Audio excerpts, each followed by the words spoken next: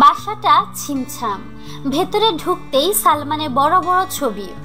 একটা ছবিতে walk ধিসু mic টাইফের লাথি মেরে সালমান গুন্ডাকে মারছে। আরেকটা ছবিতে নায়ক টেলিফোন নিয়ে কথা বলছেন। আরেক ছবিতে সালমান চশমা দিয়ে পুরা জেন্টাল হিরো। আমরা ভেতরে গিয়ে আরও অনেক ছবি দেখলাম। পারিবারিক ছবি, প্রিয় নায়কের পুরুষদীপ্ত চেহারা। পূর্ণ কত কথা মনে পড়ে গেল। সালমান যেখানে জন্ম নিয়েছেন, সেই খাটটা দেখলাম। কক্ষগুলো ঘুরছি আর মনে মনে গান গাইছি। সালমান শাহ অভিনীত গান। মামা আমাদের একটা কক্ষে নিয়ে বসালেন। একটা ছবির অ্যালবাম বের করলেন। একদম এক্সক্লুসিভ কিছু ছবি। অ্যালবাম ঘাটতে ঘাটতে হঠাৎ করে এমন কিছু ছবি বেরিয়ে আসলো যা দেখে আমরা পুরাথ সালমানের মৃত্যুটি অস্বাভাবিক ছিল। গলায় দড়ি দিয়ে নাকি সালমান মারা গেছে। বর্তমান প্রজন্মও এ নিয়ে অনেক দ্বিধায় রয়েছে। সালমানের ড্রেসিং রুম যেখানে সালমানের লাশ পাওয়া গিয়েছিল, তার পাশে বড় একটা মই রাখা ছিল। লাশ নামাতে এত তাড়াতাড়ি উঁচু ফ্ল্যাটে কীভাবে একটা বড় মই ম্যানেজ করা সম্ভব, সেটাও রহস্যজনক। সালমান যে ব্র্যান্ডের সিগারেট খেত, সালমানের মৃত্যুর ওই রুমে ওই দিন অন্য ব্র্যান্ডের সিগারেট পাওয়া গেছে।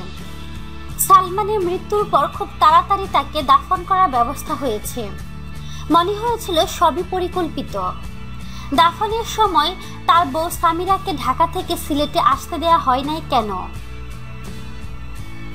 ডিবি পুলিশের তোলা ছবিগুলো আমাদের তুলতে দেয় নাই মামা। না হলে আপনাদের দেখাতাম। আমি বাসায় গিয়ে দেখে এসেছি।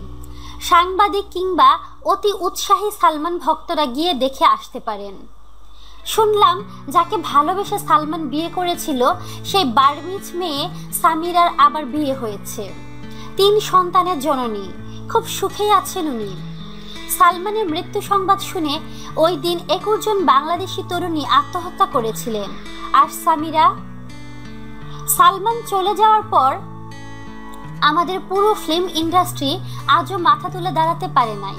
অথচ এক সময় বলিউডের বাদশাহ শাহরুখ আমাদের ডালিউডের বাদশাহ সালমানকে এবং সালমানের স্ত্রীকে দাওয়াত দিয়ে বললেন, দেখো গৌরী, উনি বাংলাদেশের ফিল্মের কাঙ্গারি আর এখন বস্তা পচা নায়করা ভুড়ি উঁচু করে ছুটির লিপস্টিক দিয়ে নেকা নাকা ডায়লগ মারে। এক সালমান মরেছে। আর কোনো সালমানের এখনও জন্ম হয় নাই। আমরা বড় অভাগা। সালমান শাহ এর মৃত্যু রহস্য এখনও অন্ধকারে। প্রতি বছর ছয় সেপ্টেম্বর আসলে আমরা সালমানকে কেউ কেউ স্মরণ করি। তারপর থাক, আর কিছু এ বিষয়ে লিখতে মন চাইছে না। এবার আসি আসল কথায়। আমরা কয়েকজন মিলে সালমান শাহ চলচ্চিত্র উৎসব করতে চাই। আগামী ষোলো উনিশ জুলাই। উৎসব থেকে প্রাপ্ত অর্থ বর্ণার্থদের সাহায্যে ব্যয় করব। আপনাদের সকলে সহায়তা জরুরি। সালমানের ভালো প্রিন্টের সিনেমা কোথায় পাব? প্রচারণার জন্য পোস্টারও দরকার। কোথায় পাই বলুন তো? চলচ্চিত্র অঙ্গনের কেউ এ পোস্ট দেখে থাকলে আওয়াজ দিন, প্লিজ। আরেকটা কথা, বর্তমান তরুণ সমাজ অনেকেই সালমানের মৃত্যু নিয়ে বিভ্রান্তের আছে। কে খুন করেছে জানি না। যে বা যারা বাংলা চলচ্চিত্র অঙ্গনকে এত বড় ক্ষতি করল, তাকে বা তাদের কি বিচার হবে না?